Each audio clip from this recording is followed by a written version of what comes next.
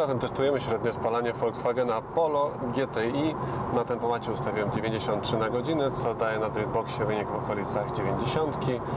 Na obrotomierzu widzimy 2000 obrotów na minutę na najwyższym szóstym, jak widać, biegu, a średnie spalanie według komputera po pierwszych kilku kilometrach to 5 litrów na 100 km.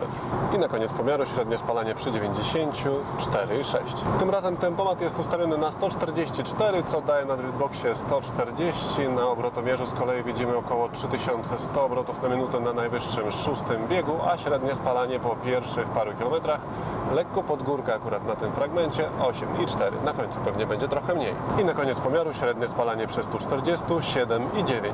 Spalanie na zimnym silniku po pierwszym kilometrze 11,8, po dwóch kilometrach 10,2, po 3 kilometrach 8,4 i jeszcze po 6 kilometrach 6,8.